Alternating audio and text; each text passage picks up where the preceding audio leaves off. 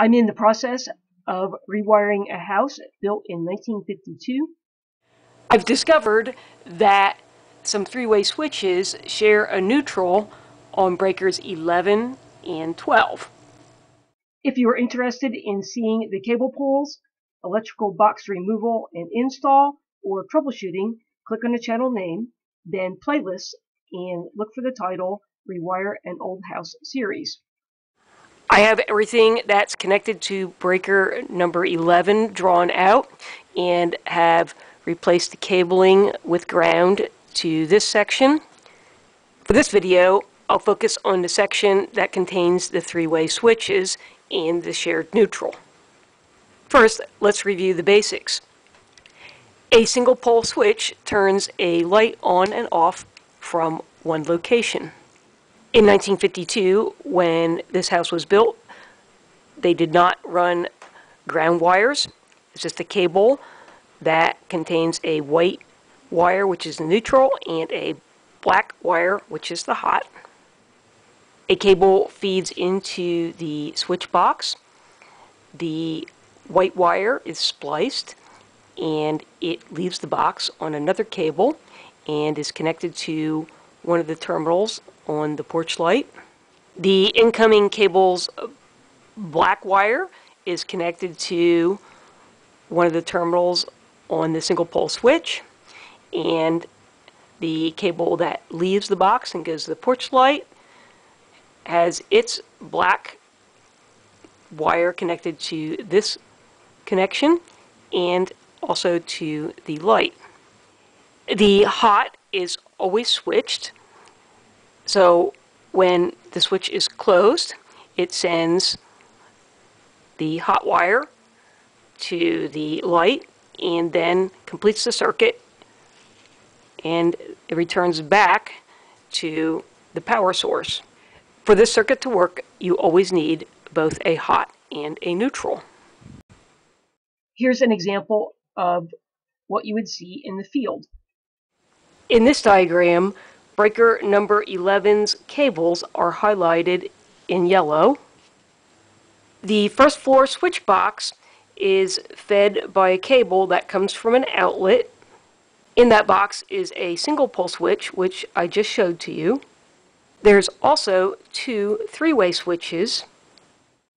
Two three-way switches allow a light to be turned on or off from two different locations. To keep this easy to understand, I'll talk about one pair of three-way switches. One of the switches is located on the first floor and it controls a hallway light on the second floor. The companion to that switch is one that's located at the top of the hallway on the second floor and of course that also controls the hallway light.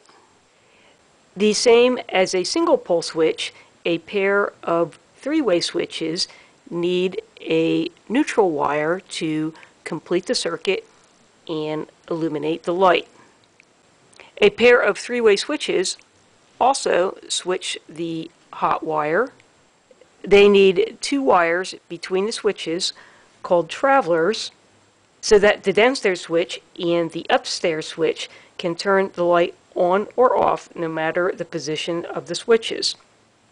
In my situation, only one cable was run with two wires, a wire for each of the travelers between the downstairs switch and the upstairs switch. An extra cable wasn't run to connect the neutral from the breaker 11 circuit to the second floor hallway light.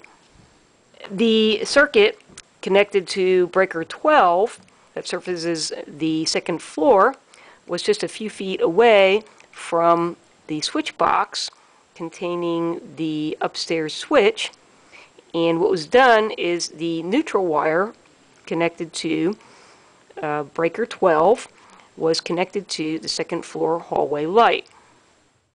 At the top center of the photo, you'll see where the two cables that are connected to breaker number 12 enter the switch box.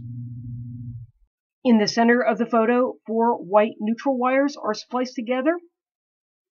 Two are the in and out for breaker 12 circuit. One goes to the hallway light and the other goes to a switched outlet controlled by the other pair of three-way switches. Bottom center is two black wires placed together. That's just the in and out for the circuit connected to breaker number 12.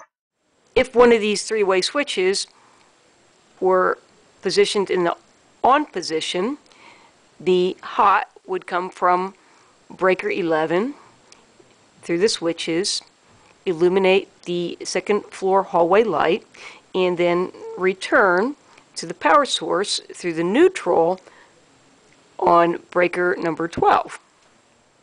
The danger with this circuit is that if you were to turn breaker 12 off to do work and check for voltage and it's safe, while you're doing work, somebody turns one of the switches on, which would send the hot from breaker 11, which isn't turned off, through the switches, illuminate the second floor hallway light, and then it would return on this neutral.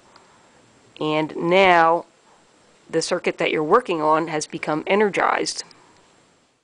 I don't know the code history when this type of circuit was permitted. If you have older wiring and three-way switches, be aware that you could have this potentially dangerous situation. I hope you found this video helpful. A thumbs up is always appreciated. Click on the channel name, Know How Now, to find other videos, and thanks for watching.